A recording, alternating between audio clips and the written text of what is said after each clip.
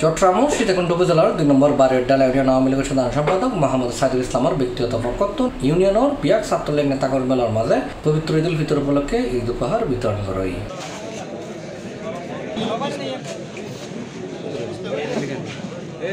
বুধবার বিকালে বারের ডালা লাহাত ইউনিয়নের সাড়ে চারশো ছাত্র নেতাকর্মীরা তন্নাজি এই ঈদ উপহার তুলে দিয়ে সাইদুল ইসলাম নিজে।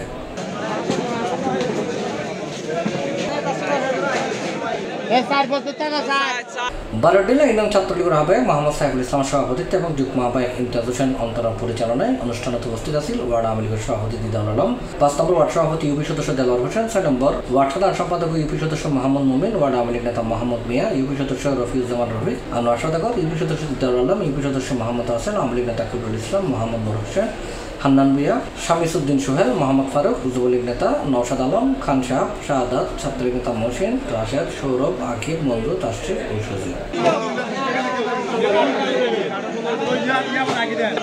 রোদ বৃষ্টির মধ্যে রাত দিন তারা পরিশ্রম করে। দলের বিপদের যে কোনো মুহূর্তে ছাত্রলীগকে আমরা সবসময় সামনের সারিতে পাই।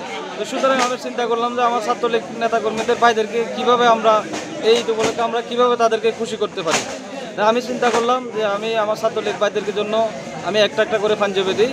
আমরা প্রায় চারশো তিরিশটা পাঞ্জাবি আমরা আমাদের বাড়িটালা ইউনিয়ন ছাত্রলীগের কাছে আজকে আমি হস্তান্তর করলাম। তো এই ভাইদেরকে আমি ঈদ ঈদ উপহার হিসেবে আমি এই পাঞ্জাবি পাঞ্জাবিগুলো আমি উপহার দিলাম। মাননীয় সাবেক উপজেলার chairman.